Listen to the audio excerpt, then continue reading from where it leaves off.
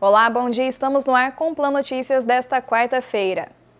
Entrou em vigor ontem, dia 30 de maio, uma alteração ao decreto municipal sobre os valores fixados para a utilização do pátio do estacionamento do Parque José Afonso Junqueira, no centro de Poços de Caldas, para a realização de festivais de gastronomia e de música. O decreto prevê que os interessados na ocupação do espaço terão que desembolsar por dia de ocupação R$ 3.156.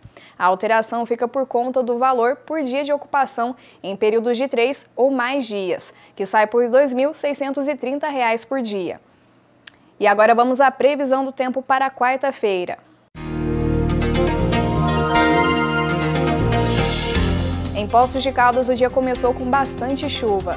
A umidade relativa do ar varia entre 90% e 97%. A temperatura mínima é de 14 e a máxima de 18 graus. Em Andradas, a mínima é de 13 e a máxima de 18 graus. A previsão também é de chuva durante todo o dia.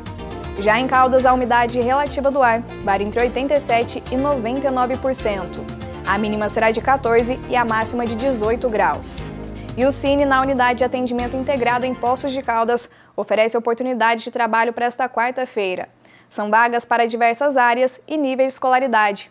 Os interessados devem fazer o agendamento online gratuito através do mg.gov.br. Acompanhe algumas vagas disponíveis para hoje: porteiro, auxiliar de cozinha, auxiliar administrativo, vendedor de loja e auxiliar de logística. O Plano Notícias fica por aqui. Outras informações você confere durante a nossa programação. Não saia daí.